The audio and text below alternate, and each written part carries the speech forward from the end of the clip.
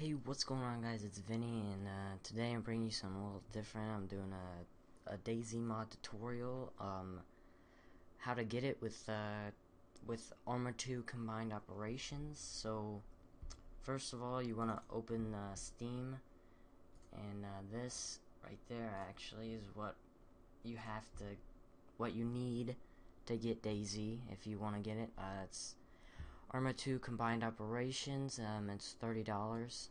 Um, so yeah, once if once you have that downloaded and like installed and stuff, uh, you're gonna have Arma 2 and Arma 2 Operation Arrowhead. And so yeah, you have those downloaded, and now you want to exit exit out of Steam and go down to your toolbar down at the bottom right. And uh, yours is probably over here, but um, mine's right here. Uh, you want to click the exit button and then hit up yeah right there. And then you want to open up steam again uh, and open it up as administrator. You have to open it up as administrator. Like you have to to make um to make DayZ work. Have to open up as running administrator. Alright so you see that steam opened up again and now what you want to do is you want to open up both of these Arma 2 and Arma 2 Operation Arrowhead. You just want to play them launch in windowed mode.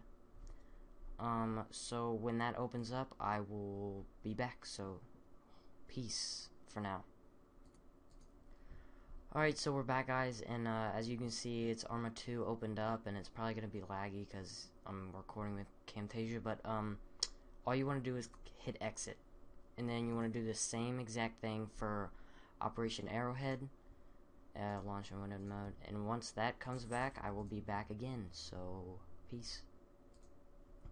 Alright, so what's up guys, we're back again, and uh, as you can see, we open up Operation Arrowhead, and all you want to do is just exit out of that again.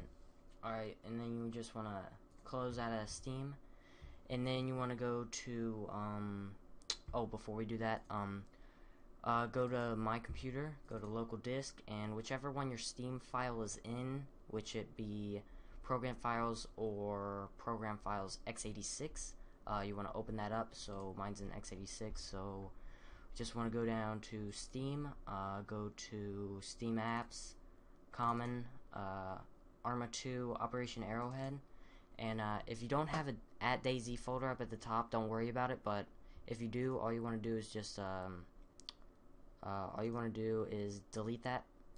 Uh, just delete it and minimize that and uh, now you want to go to your Google Chrome or whatever whatever you use and go to dayzmod.com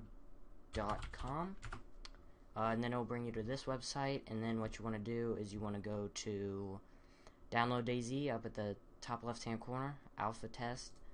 Uh, click that and then go to 6 updater suit um, recommended. Uh, just click on that then you want to click this right here, download and install software. Um, click on that, and then it'll bring you to this website. Uh, and then you want to hit this, hit this right here, download v2.9.7 pre. Uh, download that. I already have it, so I'm not going to download it. Just click that, let it download. It should not, it shouldn't take a while. Um, then you should have it up here or whatever. Um, or just go to 6 launcher. That's what we're going to use, 6 launcher.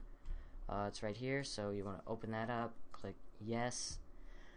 Uh, then um, should have that. So yeah, uh, you should delete that, the at DayZ folder, like I said. Um, then this should come up, and then it should have a full bunch of servers, but I don't know what's going on. Yeah, I don't know. But anyway, it should have a full list of servers, but uh, DayZ's been messing up. Um, so you want to click uh, install over here. Oh, there we go. Should have all those servers. Uh, but you want to click install right here. And then it should verify and then update. Um, and then you should see that you have a at DayZ folder again. But I'm not going to open it up because I don't want it to mess up. So that should not take long at all. Just it's updating it. Let's see, it's going really fast. But, uh, yeah. So, 95, 4, 5, 6. Alright, so that should not take long at all. If it can end real quick, come on, hurry up, hurry up, hurry up.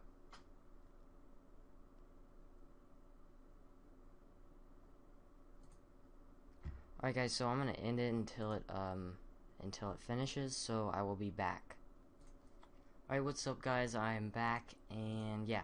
So I'm back. Uh, I had to actually close out my 6 launcher and open it up again because it did freeze, but hopefully that didn't happen to you.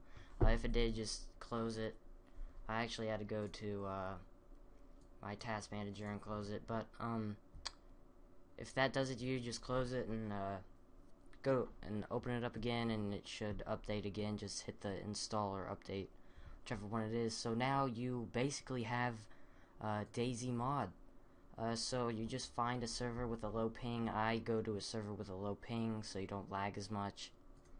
Um, but yeah so you can see you can join any server. You can join a server with your friends or whatever. And then you see the location which is the flag like the the country they're in. Uh, the mission is all DayZ. But you can see, like, everything is there. So, once you find a server, you just want to hit join, and I'm not going to hit join because I'm on Camtasia no lag. But once you open it up, it will probably take a long time because uh, the game is very, uh, the graphics are amazing. So, yeah, so you guys have DayZ mod. Uh, I hope you guys enjoyed the tutorial. If you did, please be sure to uh, like and then uh, hit the subscribe button. I am going to be doing uh, how to live stream on XSplit. Pretty common live streaming uh, program, so that might be uploaded in a couple days or next week. Uh, so yeah, hope you guys enjoy. Be sure to like and uh, subscribe, and yeah, see you guys later. Peace.